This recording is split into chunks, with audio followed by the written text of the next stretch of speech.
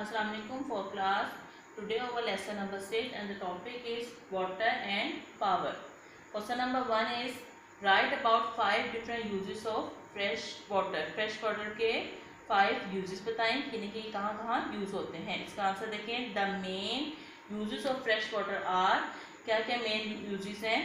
Irrigation uses यानी कि irrigation use करने के लिए यूज़ होते हैं? Second use for livestock livestock stock इसको कहते हैं मवेशी को ठीक है? Third is use for industrial purpose आपके इंडस्ट्रियल यानी कि सनती मिसाइल के लिए यूज़ होते हैं।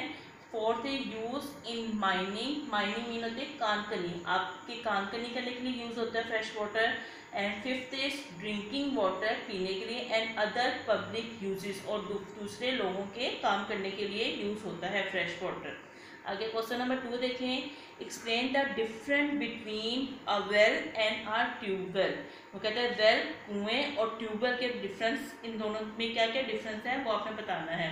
इसका आंसर देखें। Wells are large hole wells क्या होता है? कुआँ क्या होता है? एक बहुत बड़ा होल होता है in the ground to obtain water पानी हासिल करने के लिए आप मैदान में एक बहुत बड़ा होल करते हैं, उसे क्या बोलते हैं? वेल्स बट इन ट्यूबवेल लेकिन जो ट्यूबवेल क्या होते हैं? द कैस्टिंग कैसिंग पाइप्स एक ये पाइप्स का ढांचा डाला जाता है। अपुट into the bottom of the bore well जो वेल होती है ना, उसमें बोर करके डिफरेंट पाइप्स डाल दिए जाते हैं, जिससे हमें ट्यूबवेल से पानी मिल जाता है। इन दोनों में यही डिफरेंस है। यानी कि जो वेल्स हैं, वो एक लार्ज होता है, जबकि ट्यूबवेल्स क्या होते हैं, वो हमें पानी उधर से भी हासिल होता है, लेकिन वो पाइप लाइन्स के ज़रिए हासिल होता है। इन दोनों में ये डिफरेंस है। Thank you so much